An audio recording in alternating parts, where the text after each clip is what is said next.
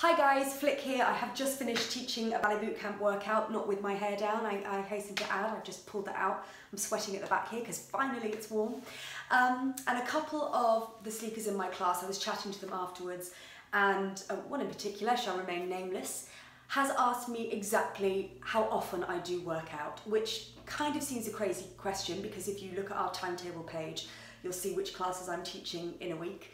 Um, same with Victoria and our, and our sleek team as well. And so the answer to that question is I work out as much as I teach. So more often than not, I'm teaching three or four sleek live classes a week. Plus Victoria and I will get together and we plan the workouts that are coming your way, our weekly catch-up classes, and our monthly streaming releases that come out at the beginning of each month. So we'll spend a little bit of time together going through new workouts and as we're doing that we're often up on our feet and we're working out at the same time because we want to feel exactly what that exercise does because then we know how it's going to feel for you as well.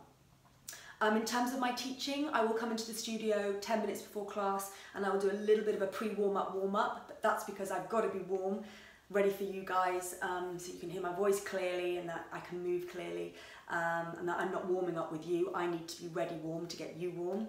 And then at the end of class, I will often spend another five or 10 minutes doing extra stretches. Stretches that, because I was a professional dancer, I still am, I like to think, um, for a long, long time, um, that I can move through a little bit quicker. Stretches that might be a little bit more advanced, shouldering the leg, splits front side and onto the other side exercises that I absolutely teach and you guys do brilliantly in our Sleek Live classes, um, but that I might break down and do a little bit more slower, show some modifications. When I'm doing it on my own, I just move much quicker. Same if I'm doing a little pre-class barre, I will move through tendus, uh, pliés, tendus, glissades much quicker than if I was breaking it down into a live class.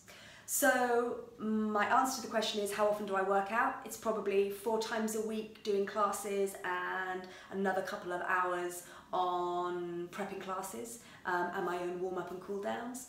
Um, and that is it, and it is sleek, and I walk a lot, and I do do some yoga, but I do it probably once a week, but it's it's for my brain, it's not for my body, it's a completely different thing. It's to help me escape my chaotic family life. Um, anyway, so there we go. Sleek technique, it's what we do. I promise you there is no secret, hidden, crazy marathon running that we do behind your backs. That is it. We, we, we sleek with you and we want you to sleek with us. So have a great week and I will see you online very soon.